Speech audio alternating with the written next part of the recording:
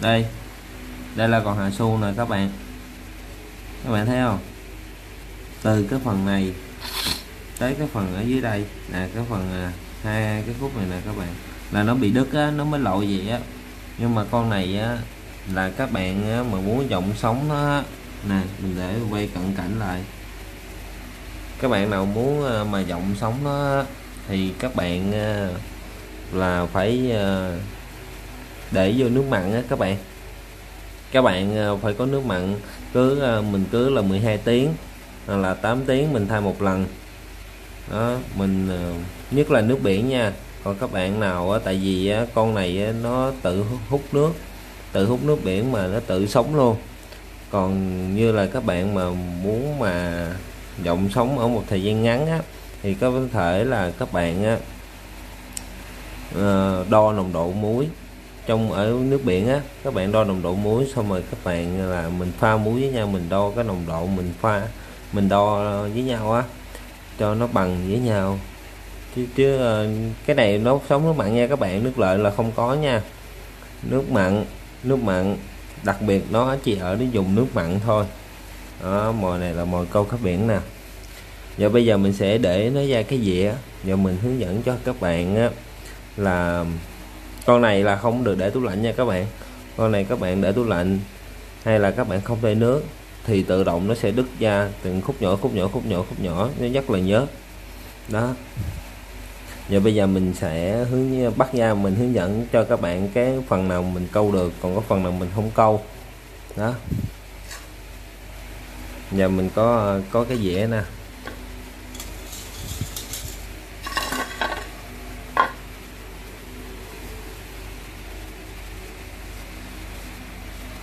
Giờ bây giờ mình sẽ bắt một con mình ờ, mình để vô đây nha. Đây. Các bạn thấy không? Nè các bạn coi nó nè. Các bạn thấy nó bò tại vì mình bắt cái miệng nó có nhiều lúc đó, các bạn bắt vô cái miệng nó nó sẽ bắn ra. Nó sẽ bắn ra là cái chất nhầy nó dính vô tay xong rồi nó vừa bắn vô cái cái đó chất nhầy đó nó bung dễ ra cái bông dễ nhìn thấy ghê lắm. Nè, cái con hàng xu này á, thì các bạn bỏ, các bạn khi mua về á, các bạn câu á, các bạn bỏ cái khúc từ các bạn thấy cái mí trắng không? Mình chỉ câu á, mình câu á, là mình chỉ lấy là cái phần này nè. Đó. Cái cái cái phần màu đỏ đỏ á. còn cái phần trắng trở lên cái đầu của nó. Từ cái phần trắng trở lên cái đầu của nó thì các bạn bỏ nha, các bạn câu không được nha ví dụ mà các bạn câu á thì ờ, nó sẽ ra những cái khúc các bạn cắt cái đầu nó ra xong rồi từ cái đầu nó nó sẽ gồng lên rồi nó sẽ đứt khúc. Mình nói các bạn nghe kìa không?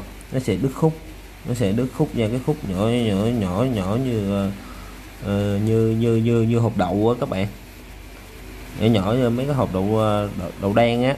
Đó nó sẽ nhỏ như vậy á các bạn nhìn đây, nhìn nó bò rất là dài nha. Nhưng mà một khi mình đụng vô thì thì nó sẽ giật nhỏ lại nè, các bạn thấy không? Nó nhỏ lại liền. Đó. Nhưng mà nó như con đĩa hay các bạn nhìn thấy không? Nó như con đĩa luôn, tự tự như con đĩa không? Nhưng mà nó sẽ không có hút máu hay là nó làm mình bất cứ một cái gì ảnh hưởng tới mình hết. Các bạn cứ yên tâm, bắt nó câu bình thường không sao cái phần này nó rất là cứng nha các bạn. Còn cái phần bụng nó rất là mềm. Bởi vì mình đi câu cá, mình lấy cái phần bụng đó thôi các bạn cắt ra khoảng chừng một lóng tay. Mồi này là dùng để câu cá những con cá nào mà bự thôi nha các bạn. Các bạn câu những con cá bự. À các bạn câu những con cá bự như mấy con cá miệng bự như là cá ngát cá mô ớt à, cá dồ đó là những con cá miệng bự đó, các bạn.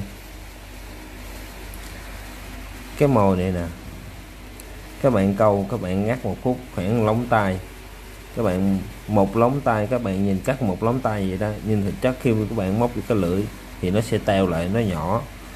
Nó nhỏ lại nữa. Bởi vì các bạn cắt chừng ra là, các bạn đặc biệt nha, con này là các bạn không được lấy tay bóp nha.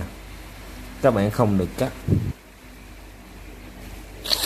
Các bạn à, là là, các bạn là không được cắt từ cái phần đầu nó nha, bỏ nha. Các bạn muốn cắt nó là các bạn cắt phần đuôi cắt đi lên. Cắt phần đuôi đi lên nha các bạn. Các bạn không được cắt ở phần đầu tại vì mình một khi mình ở cắt ở phần đầu á nói chung là con này nó cũng dễ lắm các bạn. Nói chung là nó không có khó. Nó không phải như mấy những cái loài khác. Các bạn cắt ở phần nào cũng được đó, không sao. Nhưng mà các bạn đừng lấy phần đầu các bạn câu thôi. Tại vì mình cắt phần nào tùy tự động nó nó mình không cắt nó cũng đứt à bởi vậy các bạn cắt sao các bạn cắt cũng cũng không sao. Đó. Như uh, con mồi này. Ừ. như ở cái con mồi này á để mình đổ nó vô lại đi chứ không mình nó chết. Cái con mồi này nè là mình đi bắt. Cái con mồi này là mình đi bắt nha các bạn con mồi này nó đặc biệt, nó ở trong là những cái hốc đá rồi này kia mà hốc ờ, chắc ngoài biển không có đá đâu. Những cái hốc cây đồ này kia, bịch đồ này kia, rồi nó nằm ở trong mấy cái bệ dừa, mấy cái bệ dừa nước đó các bạn. Mà nằm cái mấy cái bệ dừa nước không phải là mình đào gì lên nha. Mình chỉ dở bệ dừa nó lên thôi, tại vì nó nằm ở trong ờ, nó nằm ở trong ờ, cái nó nằm ở trong cái bệ dừa mà cái bệ dừa ở ngoài biển á, nó hay tấp vô trong bờ á. Hay ngoài sông đồ nhất là mấy cái chỗ mà có sông á nha các bạn. Đó là những dừa tấp lên mà nó nằm trên sình đồ á. Là con này nó hay ở lắm. À, các bạn coi nè mình bắt đường vô đây nè.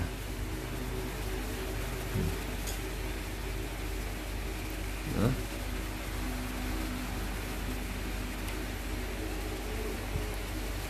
Các bạn á, tại vì á, cái con này em muốn giọng sống nó thì các bạn phải bắt. Này đây là cái phần nhầy của nó nè.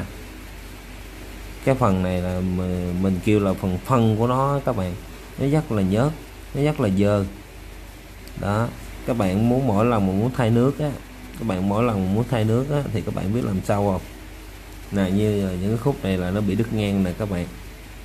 Nè, các bạn nhìn nè, khúc này nó bị đứt ngang nè nếu mà mình á, trong 12 tiếng đồ này kia 12 tiếng mà mình không thay nước á, mà nước nó dơ á là tự động cái phần này là nó sẽ đứt trước nè. Nè mấy cái phần này nè đó, nó sẽ đứt trước nha các bạn. Con này nó rất là dễ sống. Nếu mà ở nó có bị đứt á nhưng mà nó ở ngoài môi trường tự nhiên nha nó bị đứt giờ nó bị đứt như khúc như đây giờ nó vẫn sống bình thường. Nó như con đĩa vậy đó nó tự một đầu luôn nó tự một đầu tự sống nha luôn luôn nha các bạn.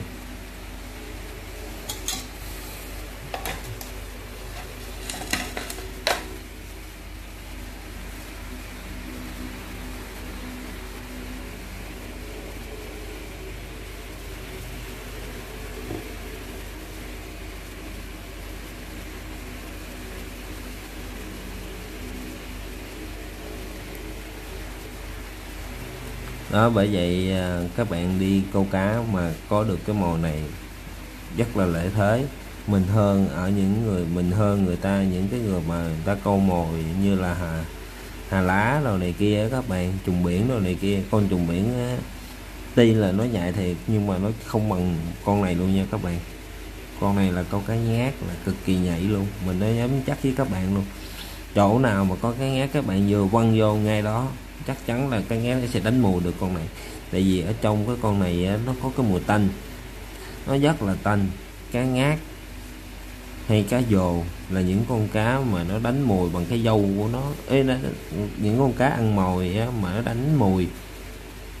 Những con cá ăn mồi đánh mùi là hai cái loại cá đó. Mình chỉ biết là hai loại cá đó thôi. Mình chỉ hướng dẫn các bạn hai loại cá đó thôi. Là cá đánh mồi đánh mùi. Đó bây giờ các bạn thấy sao? Khá ok nha. Con ngồi này là quá tuyệt vời. Đó, các bạn nào mà muốn đi câu á mà câu loài cá xác định là đi câu cá dồ với cái ngát thì nên câu cái loại mồi này. Cứ 8 tiếng là thay nước một lần nha các bạn. Còn các bạn nào mà không biết á các bạn nào mà không biết á, thì có thể là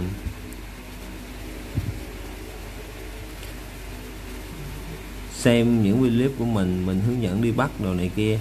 Đó, bây giờ clip này mình chỉ hướng dẫn các bạn tới đây thôi ha. Rồi sau này có gì, các bạn nào cần cái gì đó thì sau này mình sẽ làm video clip ở phía dưới. Để mình sẽ làm video tiếp theo để mình hướng dẫn cho các bạn. Các bạn nào mà không biết cái gì thì có thể comment phía bên dưới để mình hướng dẫn cụ thể hơn cho các bạn.